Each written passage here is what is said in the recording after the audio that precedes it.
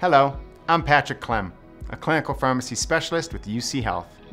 In this video, we'll walk you through sirolimus and everolimus, two immunosuppressant drugs that play a role in transplant. One of the biggest concerns post-transplant is the body rejecting the transplanted organ. Rejection is caused by the body's immune system. To prevent this, you will need to take for the rest of your life multiple medications that inhibit your immune system. Sirolimus and everolimus may be some of those medications.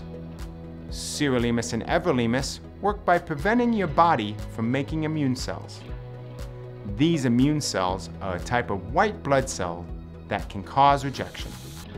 Some side effects of immunosuppressant medications include increased risk for infection and increased risk for certain cancers. Possible side effects of sirolimus and everolimus include increased triglycerides or fats in the blood, edema, low blood count, mouth ulcers, slow wound healing, low potassium, and increased risk of spilling protein in your urine. Sirolimus and everolimus can interact with other medications, so you need to make sure your transplant team is aware of all medications, including prescription and over-the-counter.